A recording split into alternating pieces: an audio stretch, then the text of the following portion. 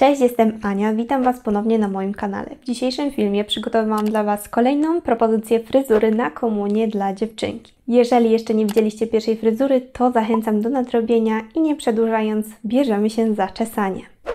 Bazą do fryzury będą loki oraz półupięcie, które wykonywałam przy pierwszej komunijnej fryzurze. Jeżeli nie widzieliście tego filmu, to link znajdziecie w opisie oraz adnotacja wyświetli się po prawej stronie. Do tej fryzury niezbędna będzie wstążka. Może być biała, koronkowa. Ja akurat znalazłam taką. Moja ma 160 cm długości.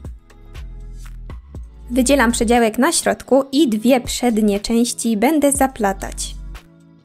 Biorę wstążkę i łapię ją mniej więcej na środku.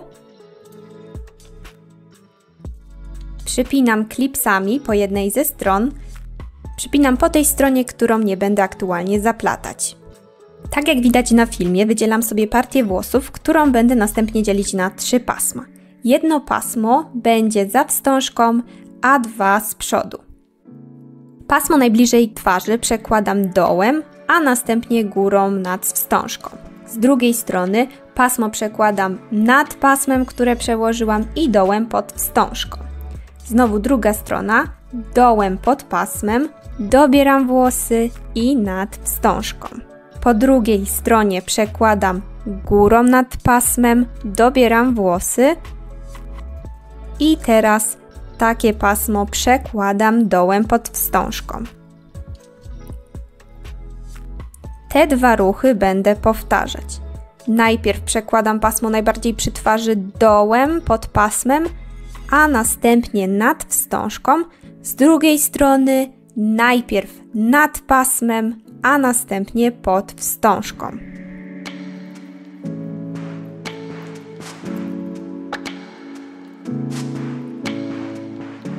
Należy pilnować pasm, żeby żadne nam się nie złączyło, żeby żadnego nie zgubić i cały czas powtarzam dokładnie te same kroki. Pasmo przy twarzy przekładam pod pasmem, dobieram włosy i nad wstążką, a z drugiej strony ruchy wyglądają następująco. Najpierw przekładam górą nad pasmem i pod wstążką.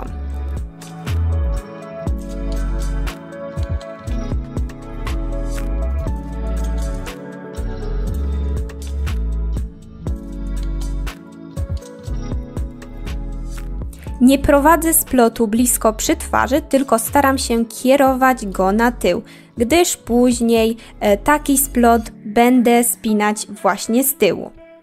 Cały czas powtarzam te same kroki, przypomnę jeszcze raz.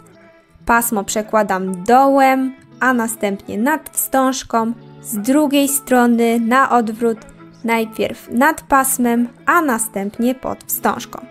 Jak widzicie, skończyłam już dobierać włosy z lewej strony i dobieram tylko włosy, które zostały mi do dobrania przy twarzy. Cały czas postępuję tak samo, tylko z jednej strony nie dobieram włosy, tylko przekładam samo pasmo.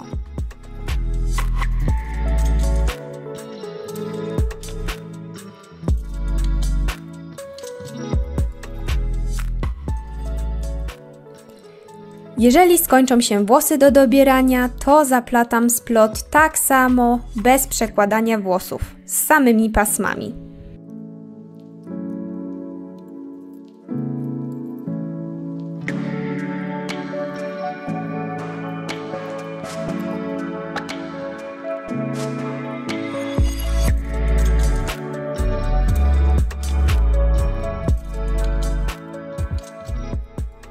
Całość spinam małą gumeczką i przechodzę na drugą stronę.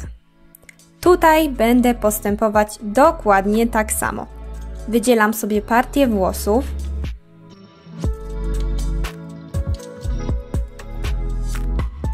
Jest to taki poziomy pasek i z niego dzielę włosy na trzy części. Jedna jest za wstążką, a dwie z nich przed. Pasmo przy twarzy przekładam dołem, następnie górą nad wstążką. Z prawej strony górą nad pasmem i dołem pod wstążką. Teraz zaczynam dobierać włosy, dołem pod pasmem dobieram włosy, górą nad wstążką. Z drugiej strony tak samo dobieram włosy, przekładam pasmo nad, następuje dobranie i przekładam pod wstążką.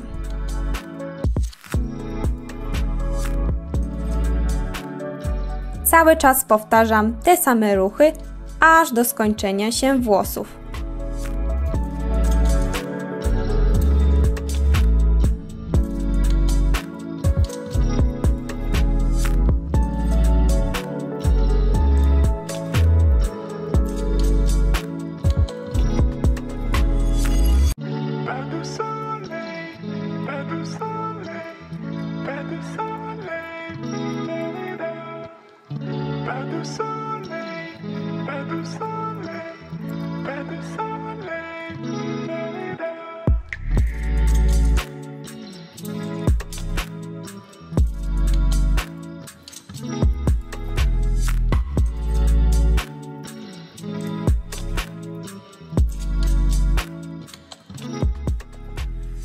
Całość spinam małą elastyczną gumeczką i teraz będę łączyć oba pasma.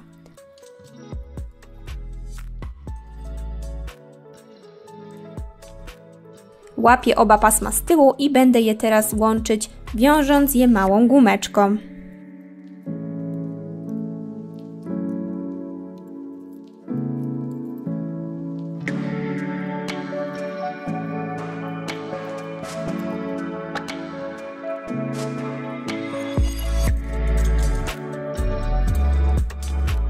Teraz pozbywam się gumeczek, którymi wcześniej związałam pasma. Wstążkę można zostawić luzem, jednak myślę, że o wiele ładniej będzie wyglądać, jeżeli zawiążemy ją na kokardkę. I ja właśnie tak zrobiłam.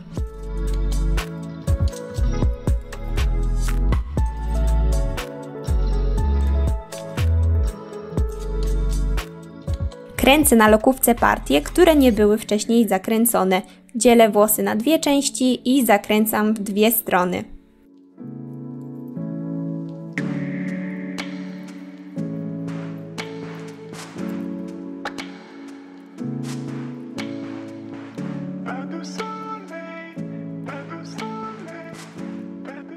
Jeżeli wstążka jest za długa, możecie ją przyciąć lub schować pod włosami. I ja tak właśnie zrobiłam. Tak prezentuje się gotowa fryzura.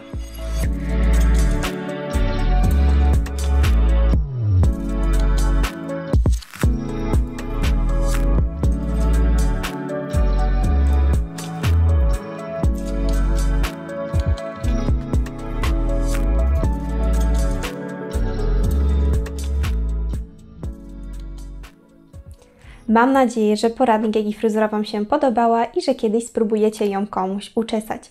Pamiętajcie o zostawieniu subskrypcji na moim kanale, żeby być na bieżąco, łapki w górę oraz komentarza. Będę bardzo wdzięczna. Ja się z Wami teraz żegnam i do usłyszenia następnym razem.